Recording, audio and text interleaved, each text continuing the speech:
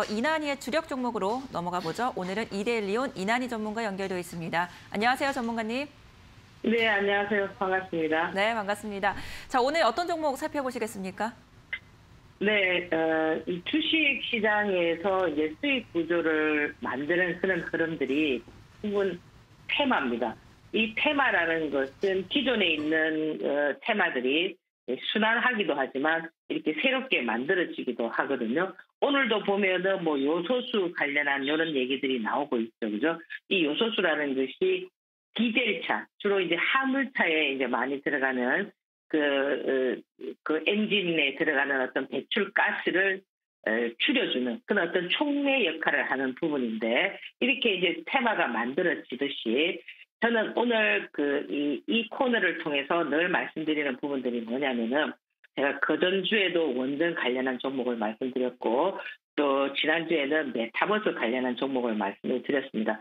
결국 이 얘기는 뭐냐면 순환이 되고 있기 때문에 당장 그렇게 가지 않는다 하더라도 이 시장의 어떤 흐름에 맞춰서 가는 성향이 많습니다. 특히나 이제 어떤 얘기들이 나오느냐, 그죠? 뭐 정부 정책이 되느냐 이런 거에 따라서 움직이기 때문에 이번 주에는 아무래도 여러분들께서 이 대북 관련한 종목들을 좀 보시는 건 어떨까 이렇게 이제 생각을 해서 오늘 대북 관련한 테마주들을 지금 좀 몇 가지 말씀을 드릴 건데요. 이런 부분들을 제가 지난주에도 말씀드렸듯이 제가 여기서 말씀드렸던 것을 건방 사기보다는 여러분들의 관심창에 올려두시고 흐름을 보면서 시장의 방향을 같이 이렇게 보면서 여러분들께서 포지션을 취해야 된다는 부분 먼저 말씀을 드리고요. 지금 이 대북주들도 이 테마들도 과거에는 보면은 한 번 대장이 영원한 대장이 되었지만은 지금은 순환고리가 너무나 빠르기 때문에 이 대장의 어떤 흐름들이 계속 바뀌어 갑니다. 과거의 대장이었던 것이 또 지금도 대장이 되는 것이 아니고 이 수급의 어떤 변화, 발자취를 여러분들이 따라가야 되는데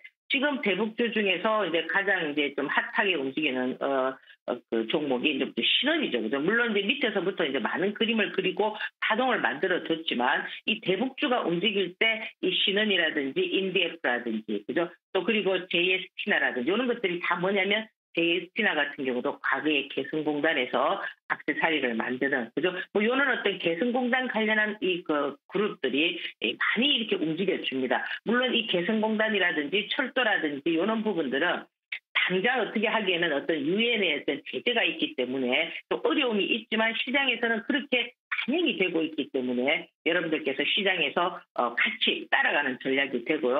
어, 특히나 지금 보면은 뭐 아난티 같은 경우는 뭐 금강산 관광 관련주다 이래서 지금 또 위드 코로나 그죠 이렇게 이제 얘기가 많이 되고 있습니다. 사실 이 아난티 같은 경우는 뭐 2008년도 뭐 금강산 아난티 골프 리조트 건설 뭐 이렇게 많은 어떤 어, 역할들을 했었는데 지금 보면은 뭐 실적이라든지 이런 부분들도 같이 겸비하면서 모양새를 좀 만들고 있는 것 같고요.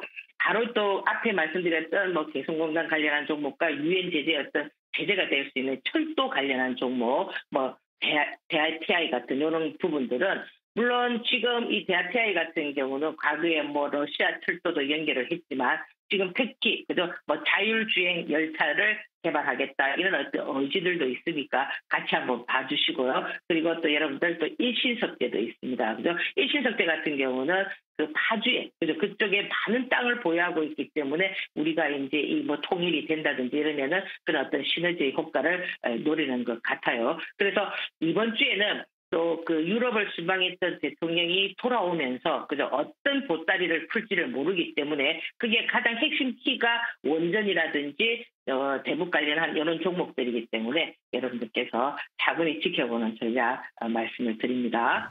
네, 오늘 말씀도 감사합니다. 네, 감사합니다.